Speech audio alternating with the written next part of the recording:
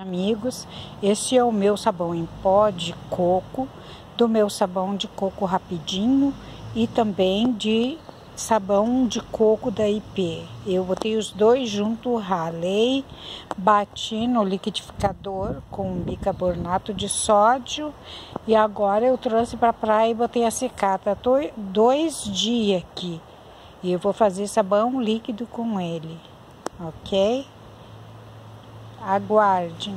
Aguardem até o próximo vídeo. Beijos.